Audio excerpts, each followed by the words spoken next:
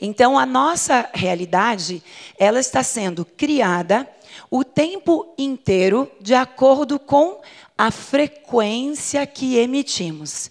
O que é a frequência? É a soma de todos os meus corpos. É a soma daquilo que eu penso, vejo, falo, agradeço, reclamo.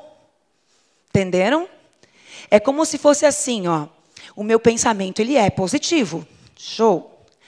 Mas eu passo o dia inteiro reclamando, julgando, passo o dia inteiro focado em é, notícias negativas. Qual é a tua frequência? É a soma disso. Eu posso te garantir que você não é positivo, não. Você é uma pessoa negativa. E você acha que é positivo. Então, esse campo é o nosso campo eletromagnético, que ele tem mais ou menos uns 3 metros. Quando você aumenta a tua frequência, ele aumenta e pode chegar a mais de 20 metros, porque você vibra numa frequência mais elevada. Quanto mais densa a tua frequência, o que, que é densa a frequência? Quanto mais negativo você for, mais densidade, mais difícil fica a vida, ok? Então, quanto menor a tua frequência, esse campo pode ter apenas 30 centímetros. Significa que se eu estou num processo que vocês vão ver de depressão, de raiva, de ódio, de escassez, de pobreza. E isso me irrita a ponto de eu passar o dia inteiro num processo de muita angústia. Talvez o meu campo tenha apenas 30 centímetros. O que significa que se a ajuda tiver no vizinho ao lado, não chega.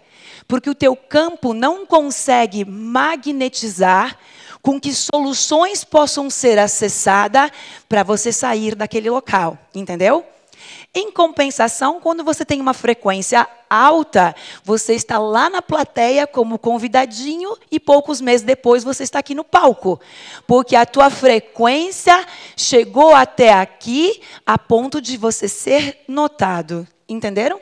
Você compreender que todas as tuas emoções, todos os teus sentimentos, os teus pensamentos, as tuas palavras, os teus julgamentos, as tuas reclamações, teu pensamento negativo, aquilo que você ouve, de repente você acordou muito positivo e aí você resolve escutar uma música de corno, aquelas que diz me abandonou, me feriu, me traiu e você fica lá cantando, ai, um dia eu fui traída e ele me abandonou e não sei o quê. E aí começa a contabilizar os teus desejos no universo. Talvez você resolva assistir um filme de terror, talvez alguma coisa antes de dormir, afinal de contas quer descontrair. E aí eu tenho uma informação para falar para vocês que o universo não sabe o que é música, muito menos o que é um filme de terror, mas ele está apenas contabilizando como você se sente ouvindo, vendo todas essas coisas. Fez sentido? Com tudo isso, nós vamos ter esse ciclo de observação, atração inconsciente. Por quê? Por que, que as coisas ruins acontecem? Por que, que eu fui traído? Por que, que eu perdi esse negócio? Venha me dizer que eu desejei agora isso, Elaine. Sim, desejou. Nada pode acontecer na tua vida que você não tenha desejado.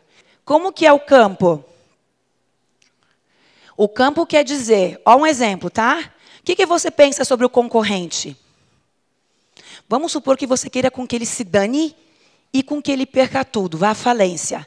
Beleza. Tomara com que você se dane e com que você vá à falência. Para quem que foi o desejo? Para você.